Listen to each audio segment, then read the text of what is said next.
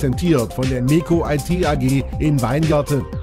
Hallo und herzlich willkommen zu Nachschuss, dem Rückschau-Magazin der Ravensburg Tower Stars in der DEL 2. Wir hoffen, Sie hatten ein paar schöne, geruhsame Weihnachtsfeiertage und gleichzeitig danken wir Ihnen, dass Sie auch uns ein paar Tage Pause gegönnt haben. Ein anstrengendes Programm mit trotz Feiertagen Spielen im 2 bis 3 Tagesrhythmus. Jetzt haben wir den Höhepunkt bereits überschritten und bevor wir uns dem letzten Spiel des Jahres gegen Rosenheim widmen und auch die Tower Stars Kapitän Radek Kresta bei uns im Studio haben werden, wollen wir einmal auf interessante Details und statistische Fakten der letzten Spiele zurückblicken. Werfen wir zunächst einen Blick auf die Bilanz der Tower Stars, was Auswärts- und Heimsiege anbetrifft. Insgesamt haben die Oberschwaben 21 Siege eingefahren, sind Tabellenvierter. Die Verteilung ganz interessant anzuschauen. Die Tower Stars haben nämlich elfmal auswärts gewonnen, zu Hause nur zehnmal und dagegen stehen insgesamt elf Niederlagen, fünf auswärts und sechs in eigener Halle. Wir wechseln zu den teaminternen Statistiken, die Topscorer. Brian Roloff mit 43 Punkten, gefolgt von Mathieu Tousignon 40 Punkten und Brandon McLean mit 39 Punkten. Brian Roloff übrigens in der Liga-Statistik inzwischen Dritter. Kommen wir zu den reinen Torjägern und Torschützen. Brandon McLean mit 19 Toren führt diese Tabelle an, gefolgt von Mathieu Tousignon mit 18 Treffern und Austin Smith mit 15 Toren. Beachtlich übrigens bei Austin Smith, Beachtlich natürlich bei Austin Smith, er hat zwölf Spiele weniger gemacht als seine Kollegen aufgrund seiner langen Verletzungspause. Und zum Abschluss noch ein Blick auf die Zuschauerresonanz in der Ravensburger Eissporthalle. 16 Spiele haben die Tower Stars in dieser Hauptrunde bislang ausgetragen und 42.444 Zuschauer wollten diese Spiele sehen. Da haben die Oberschwaben natürlich ordentlich aufgeholt.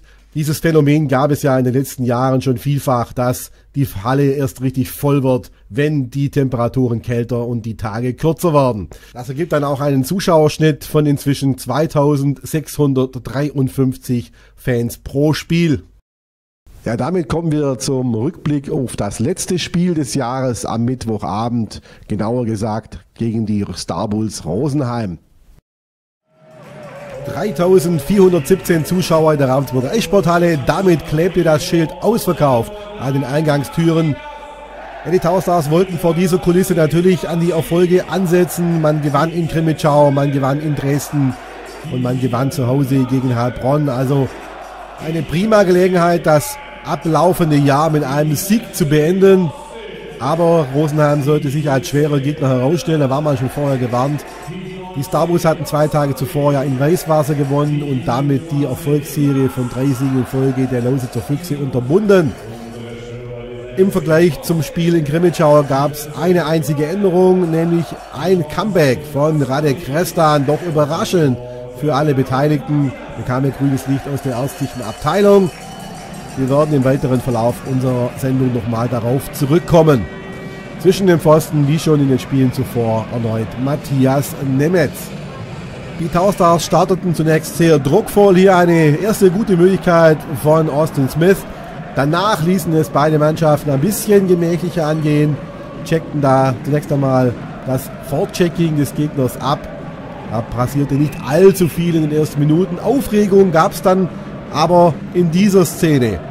Knapp fünf Minuten gespielt und man zeigt hier an, der Puck hatte nämlich die obere Glaskante noch berührt, aber Hauptschiedsrichter Robert Paule winkte ab. Er wertete diese Aktion als Spielverzögerung. Ja, eigentlich gehört dieser Bereich zur Spielerbank und er ist von dieser Regelung ausgenommen. Ein Problem ist sicherlich auch, dass es so gut wie in jedem Stadion verschiedene Gegebenheiten bei den Spielerbänken gibt. Die Proteste waren letztlich zwecklos. Es gab zwei Strafminuten, aber die überstanden die Ravensburger Cracks schadlos. Dennoch ging aber Rosenheim in Führung, konkret in der achten Spielminute.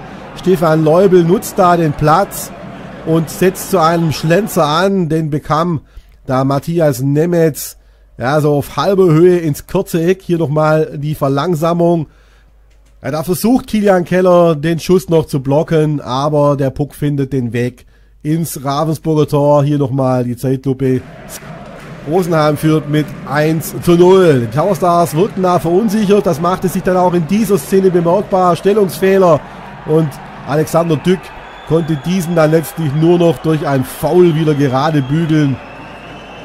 Aber der Hauptschiedsrichter zeigt es an, Penalty, es läuft an, McLeod und der scheitert am rechten Oberschenkel von Matthias Nemetz.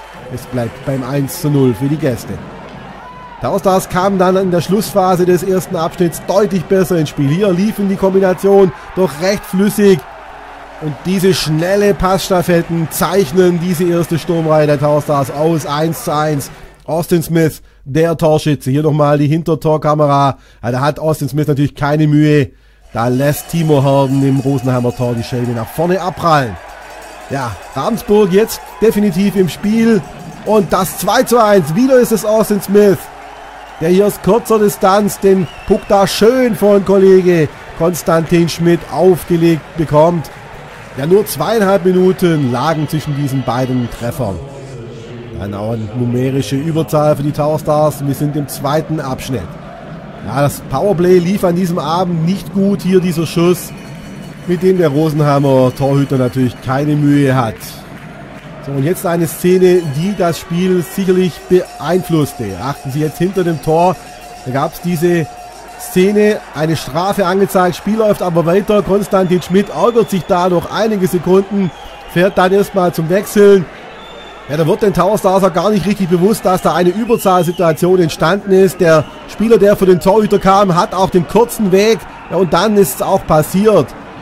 2 zu 2 der Ausgleich. Und Peter Lindbauer war der Torschütze in der 28. Minute. Aber die Antwort der Towerstars folgte auf dem Fuß. 30. Minute, Andreas Farni. Ein schöner Treffer. Nehmen wir uns nochmal aus der Hintertor-Perspektive anschauen. Hier dieser Pass auf den rechten Pfosten. Und Andreas Farni zieht die Scheibe kurz zur Seite und schiebt dann zum 3 zu 2 ein. Taustars dann mit guten Möglichkeiten, diesen Vorsprung auszubauen, aber da war den Taustars auch das Glück in dieser Situation nicht hold. Ja, und wie schon in manch anderen Spielen zuvor, rächte sich das auf der Gegenseite. Ja, dieser Schuss noch leicht abgefälscht, Sicht verdeckt für Matthias Nemetz. Und dann gleicht Rosenheim auch schon wieder aus. Max Renner, diesmal der Torschütze. Noch vier Minuten waren zu spielen im zweiten Abschnitt. Auch hier die Hintertorperspektive.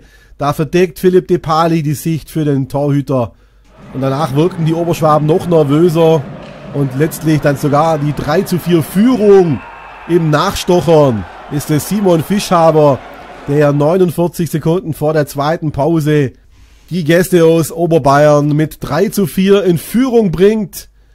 Diesen nach vorne abgeprallten Puck von Matthias Nemetz konnten die Ravensburger Verteidiger nicht wegräumen.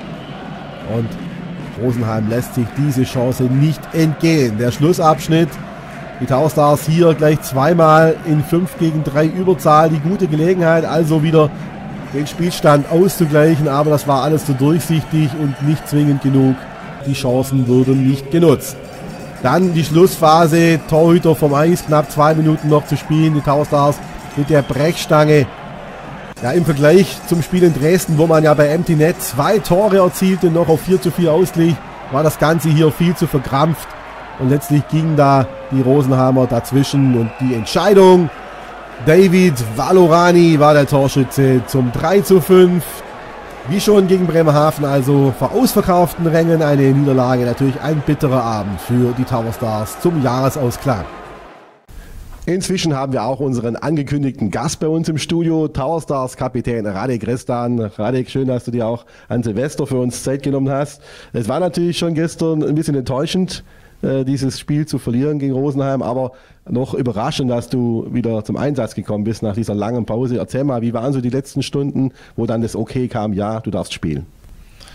Ja, natürlich. Äh, ich habe äh, schwierige Zeit hinter mir. Äh, zweieinhalb äh, Monate äh, nicht gespielt und zwei OP gehabt und äh, die letzte OP war drei Wochen her und dann seit dieser letzten OP habe ich äh, hart gearbeitet, damit ich so schnell wie möglich zurückkomme. Und äh, ich freue mich riesig, dass es sich noch vor Jahresende gelungen. Dann äh, kommen wir konkret zum Spiel. Wir haben uns da auch ein paar Szenen rausgesucht, die wir ein bisschen zusammen, zusammen analysieren wollen. Da werfen wir zunächst mal einen Blick auf die 16. Spielminute und äh, da schauen wir uns jetzt mal an. Da ist auch auffallend diese Rotation da, die ihr da bringt. Vielleicht kannst du da mal ganz kurz analysieren. Ja, ich habe da mit, mit Rolli und Konsti äh, gecycelt und äh, da haben wir auch Tormöglichkeit gehabt. Rolli hat das super abgefälscht, aber äh, das Torhüter hat es gefangen. Jetzt sieht man das nochmal besser. Ich komme mit Schwung von der Ecke raus. Konsti öffnet sich für Schuss. Ich habe Möglichkeit, jetzt in diesem Moment kann ich die Scheibe nochmal äh, zum Slava einfach passen oder liegen lassen. Der geht runter, macht Platz für mich oben. Und in diesem Moment sehe ich halt, äh, dass Rolli von hinter Tor kommt und ich versuche einfach seine Kelle zu finden, damit er das äh, abfischen kann oder, oder irgendwie äh, ins Netz zu bringen. Aber es war eine gute Tormöglichkeit, aber es hat zum Tor leider nicht gereicht. Dann kommen zur nächsten Szene. Der Penalty hat auf den Rängen auch mit den Zuschauern da für Diskussion gesorgt. Du hast dich auch beim Schiedsrichter besperrt. Schauen wir uns mal das Ganze äh, in, die, in, die, Szene mal an. Also hier kommt es nicht zum Kontakt, äh, kommt zu Fall, dann gibt es Penalty. Du hast dich beim Schiedsrichter beschwert. Was hast du ihm gesagt? Ja, natürlich wollte, äh, wollte ich immer so ein bisschen beeinflussen, dass das, weil, weil Kili will einfach äh, äh, an den Schläger von, von gegnerischen Spieler, ja, der, der macht das gut, der äh, äh, bringt seinen Körper dazwischen und ja, es, wenn ich das jetzt hier sehe, es kann man Penalty geben. Gut, war ja dann trotzdem äh, letztlich egal, weil der Matze Nemetz den Penalty dann gehalten hat. Dann kommen wir jetzt zu einer Szene, die für mich so ein bisschen auch, ja, vielleicht sogar das Spiel geprägt hat, vielleicht sogar entschieden hat. Da haben wir 2-1 geführt und dann gab es diese angezeigte Strafzeit und dann geht so ziemlich alles schief. Vielleicht kannst du da mal kurz drüber kommentieren. Ja, es hat angefangen in äh, offensive Zone natürlich und äh, mit der Strafe dann, äh, da haben wir auch ja, gewechselt und äh, die Zuordnung hat nicht gestimmt dann hinten und äh, ja, äh, die haben das eiskalt äh, ausgenutzt, diese Konter. Und äh, die haben das super gemacht. Also jetzt, jetzt ist äh, am Ende 3, gegen 2 Situation, 2 gegen 1, super Pass, leeres Tor. Also das war ja gut rausgespielt von, von Rosenheim, aber da hat äh, nicht äh, zur Ordnung gestimmt. Wir haben ja danach noch trotzdem mal 3-2 geführt. Da hat es wieder ganz gut ausgesehen. Man hat auch gute Chancen gehabt im Powerplay. Da schauen wir uns da jetzt mal eine 5 gegen 3 Situation an. Auch hier zeigt sich, dass die Rosenheimer da wirklich sehr gut gestanden sind. Wie siehst du jetzt, äh, was war so das Problem? Es gab ja viele Schüsse, also Distanz. Vielleicht kannst du da mal analysieren. Ja, es ist äh, natürlich hier äh, alles schön, das äh, nochmal zu sehen, was man besser machen kann. Aber erstmal war äh, sehr gut, dass, dass die Schüsse da waren. Es waren, glaube ich, drei Schüsse von, von äh, unserem Verteidiger. Äh, jetzt kommt Simon mit äh, super Chance, äh, super geschossen, aber der Torhüter hat das gefangen und dann, äh, ja, dann natürlich das immer leichter erklären, was, was man machen soll, wenn man kein Tor schießt. Aber wir haben drei Schüsse äh, gemacht. Ricky hat zwei gemacht. Er hat die letzten Spiele zwei Schla Schlagschüsse geschossen. Deswegen ist erstmal gut, dass man äh, viele Schüsse bringt. Aber wie gesagt, das ist halt äh, spielentscheidend. Äh, wenn man das äh, Überzahl 5 gegen 3 nicht nutzt, dann äh, sagt man, dass man kann nicht gewinnen. Damit wären wir auch schon am Ende unserer letzten Sendung des Jahres. Wir bedanken uns natürlich fürs Zusehen und auch danke dir, Radek, dass du dir an Silvester Zeit genommen hast. Und herzlichen Dank auch Ihnen ausdrücklich auch für das viele Lob, das wir in den letzten Wochen für dieses Format erhalten haben. Das spornt uns natürlich auch für das kommende Jahr an. Und wenn wir hier beim Jahreswechsel sind und wir haben den Kapitän hier, Radek, dann hast du das letzte Wort. Ein Gruß an die Fans. Ich möchte mich äh, im Namen des äh, gesamten Teams und der Organisation ganz herzlich bedanken bei allen Sponsoren, Zuschauern und Fans. Ich wünsche allen ein gutes neues Jahr. Schließe ich mich an. Herzlichen Dank und tschüss bis zum nächsten Mal.